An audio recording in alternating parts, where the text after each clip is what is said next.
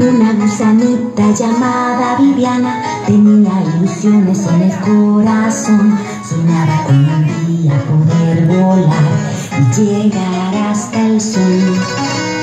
Los animalitos se burlaban de ella, decían que un gusano no podía volar. Viviana lo intentaba una y otra vez hasta que el día llegó.